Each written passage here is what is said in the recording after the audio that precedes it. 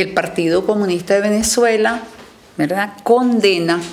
el paro de transporte que se está dando pues a nivel nacional este, parciales en algunos estados, en otros no se ha eh, llevado a cabo. Eh, nosotros lo condenamos por cuanto eh, consideramos que esto es parte de la agenda desestabilizadora con un objetivo muy importante e históricamente también tenemos referentes de esos paros de transporte como se hizo en Chile. Es de convertir las grandes ciudades en centros de violencia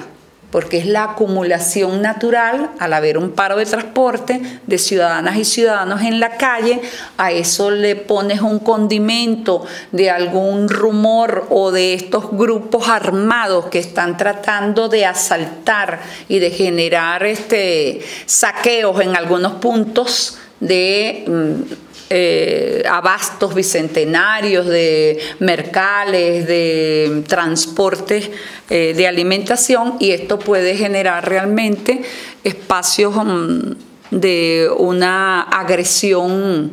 eh, y de un enfrentamiento entre pueblos. Entonces por eso el Partido Comunista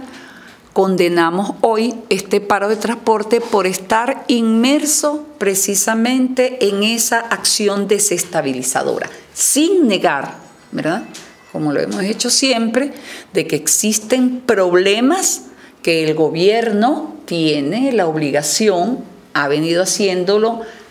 eh, en algunos mm, sectores, en algunas líneas de transporte, a donde se les da suministro a los transportistas de cauchos, de batería, o sea, un acceso, eh, facilitar el acceso a la compra de unos de los repuestos y de los cauchos que sabemos nosotros como venezolanas y venezolanos que escasean.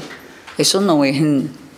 ningún secreto para ninguno de nosotros, pero indistintamente de que exista esa situación, entonces también existe todo un complot para desestabilizar, para generar violencia entre las venezolanas y los venezolanos en función de crear y de abonar la matriz internacional que tiene años levantándose contra nuestro país, diciendo de que este es un país